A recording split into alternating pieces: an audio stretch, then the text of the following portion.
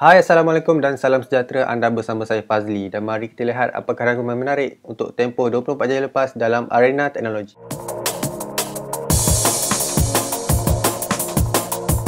Hari ini perkhidmatan Uber di Malaysia telah ditamatkan secara rasmi. Oleh itu, para pengguna diminta untuk menggunakan aplikasi Grab dan menerima kod khusus untuk penawaran diskaun. Doji kini dilihat sedang dalam persiapan untuk memperkenalkan sebuah telefon pintar baru dikenali sebagai Doji Mix 4. Melalui maklumat yang dikongsikan, peranti ini bakal hadir dengan rekaan nirbingkai menyeluruh tanpa sebarang takuk dan kerangka boleh luncur.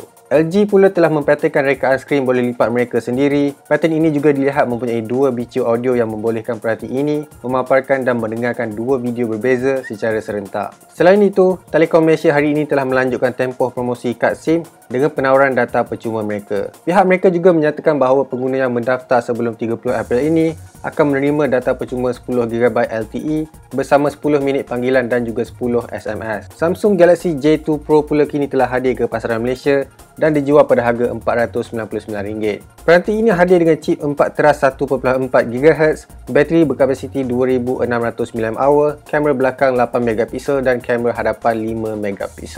Akhir sekali, imej acah untuk telefon pintar gaming keluaran Xiaomi iaitu Black Shark telah diperkenalkan. Menerusi laman web Weibo, peranti ini dilihat bakal hadir dengan skrin sisi yang melengkung secara menyeluruh dan dijana dengan pemproses Snapdragon 845. Jadi itu adalah rakaman ringkas sepanjang tempoh 24 jam lepas. Jumpa lagi esok untuk Amans 24.